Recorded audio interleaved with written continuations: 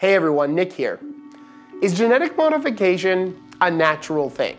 Well, it seems like a simple question, but answering it took me all the way to Hawaii, specifically to the University of Hawaii at Manoa, which is home to Dr. Russell Nagata. Not only is he a plant breeder and a geneticist, but he's got a PhD in philosophy, so yeah, kind of the ideal person to ask this question to. First thing I wanted to ask him was if GMO is something new or if it's the next logical step to what we've always done with plants mess with them. Well, it depends on your definition as to what we're, we're looking at here. People talk about genetic modification, and that has been going on since agriculture began when uh, the first uh, agricultural people, when they moved from hunter-gatherers to more agrarian societies, started to select types of plants that did better for them, grain crops that did not shatter, fall to the ground. Uh, of course, everybody looks for bigger, better tasting type of uh, vegetables or grain. So we've been making these selections over time. And it's been only in the last uh, century or so where we have finally understood the genetics and how to actually manipulate, you know, the characters that we're looking for with uh, Mendel's paper on genetics being an inherited characteristic and looking at the turn of the, the 19th, you know, the century where we looked at uh, actual hybridization, hybrids being formed, looking at hybrid vigor mm. increasing there. And as we went on, you know, in science, we had Watson and Crick saying DNA. You know, this is this is the basis of you know genetic material and understanding that, how to isolate it and where we said, okay, there's individual genes along the, the chromosomes.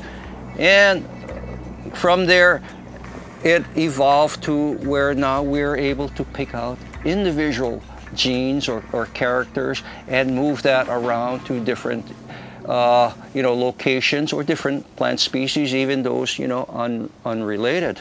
Now, the first part of his answer is really indicative of what most scientists would say, it depends on your definition of GMO.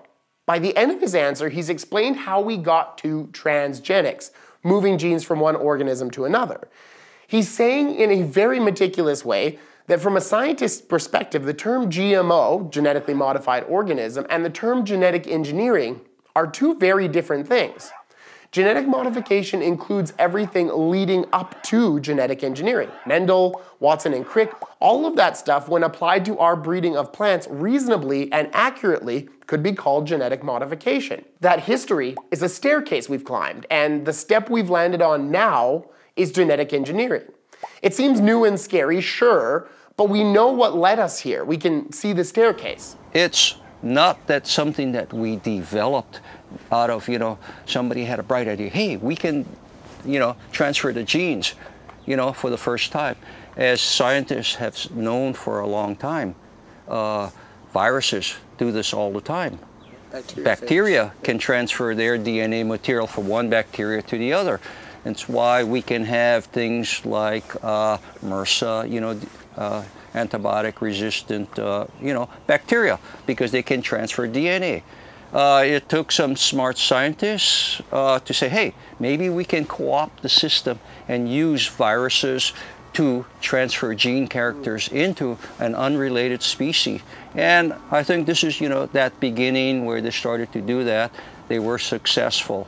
Here's another common misstep that occurs when thinking about genetic engineering, specifically transgenics. We've been led to believe that moving genes from one organism to another doesn't happen in nature. It's something scientists just cooked up in a lab one day. The thing is, it does occur in nature, frequently. As Russell described, horizontal gene transfer, or transgenics, is commonplace in viruses and bacteria. And it's that fact that scientists noticed and took advantage of that allowed them to do this in the lab.